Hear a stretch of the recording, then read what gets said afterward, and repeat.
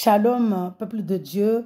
Nous, en tant qu'Église du Seigneur Jésus-Christ, en tant que les cinq, sages vierges, en tant que le temple du Seigneur Jésus-Christ, en tant que la maison du Seigneur Jésus-Christ, nous témoignons la puissance du sang que le Seigneur Jésus-Christ a versé au calvaire à Golgotha. Nous témoignons la puissance de, ce sang parce que ce n'est pas un sang physique, c'est un sang spirituel. Parce que l'homme là qui a versé le sang au calvaire Golgotha, ce n'est pas un homme ordinaire. Nous voyons ici que au commencement, dans Jean 1, la parole existait déjà et la parole était avec Dieu et la parole était Dieu et la parole a, était la lumière et la lumière était la lumière qui venait nous éclairer. Et cette lumière-là, cette lumière, cette, cette parole-là, s'est fait chair. C'est fait chair. C'est-à-dire, il a pris un corps d'homme. Et l'homme-là n'est pas ordinaire, c'est un homme. C'est Dieu lui-même. Alléluia. Il est, c'est pourquoi il a donné à, à cet homme-là, sa chair-là, c'est parce que c'est la chair. La chair-là qu'il a, qu'il a créée dans le ventre de Marie. Il a donné le nom de Jésus. Il a, il a dit, mon fils s'appelle Jésus. Et Jésus ici, c'est Emmanuel. Emmanuel, c'est euh, la signification Dieu avec nous. Ça dit je suis. Je suis là. Je suis avec vous. Alléluia. Donc nous voyons ici la puissance du sang de Jésus-Christ que Dieu a accompli au Calvaire Golgotha. C'était pour nous libérer parce qu'on était prisonniers. On était d'abord malades. On, avait, était d'abord, on avait faim parce qu'on n'avait pas la parole. On n'avait pas Jésus-Christ. On avait soif. On n'avait pas Jésus-Christ. On était malade parce qu'on n'avait pas Jésus-Christ. On était nu parce qu'on n'avait pas le Seigneur Jésus-Christ. On n'avait pas la parole. On n'avait pas des habits. Notre habillement, c'est Jésus-Christ. Notre nourriture, c'est Jésus-Christ. Notre boisson, c'est Jésus-Christ. On était euh, prisonniers parce qu'on n'avait pas le Seigneur Jésus-Christ. On était en prison. Satan nous avait enchaînés. On était dans la prison du diable. Mais Jésus-Christ est venu verser ce sang-là, ce sang précieux et saint, pur, pour nous purifier, pour nous donner la vie. Parce que le sang, c'est la vie. Donc nous voyons que le sang là, ce n'est pas physique. La parole de Dieu spirituelle.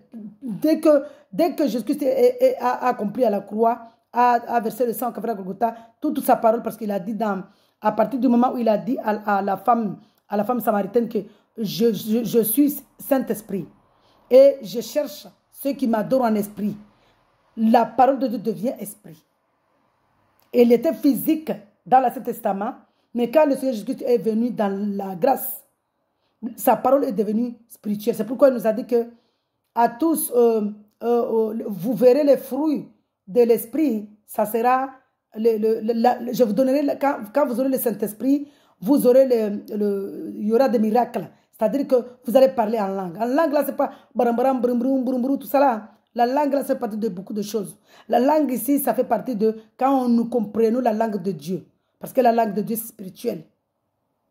Ça, c'est la langue. La langue ici, c'est quand nous quittons la vie mondaine. C'est ça.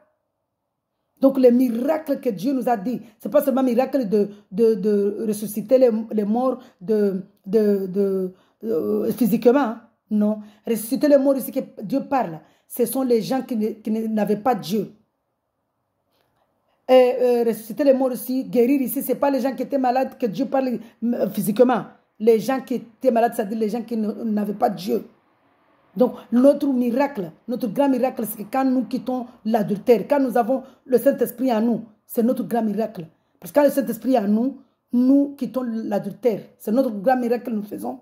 Et nous commençons maintenant à, à proclamer la parole de Dieu pour guérir ceux qui n'ont pas Jésus-Christ, ceux qui vont accepter la parole, ils vont voir Dieu, ils vont être guéris pour, pour ressusciter les morts. Est-ce que nous ressuscitons des morts? Dieu a dit cela, c'est par rapport à la vie éternelle. Parce que quand on n'a pas le Seigneur Jésus-Christ, on est mort spirituellement.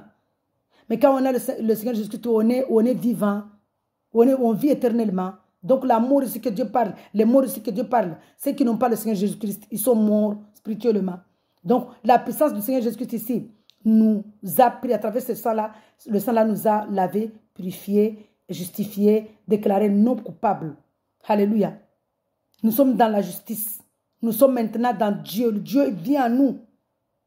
Donc nous faisons des miracles parce que nous, nous, nous, nous, nous fuyons le péché.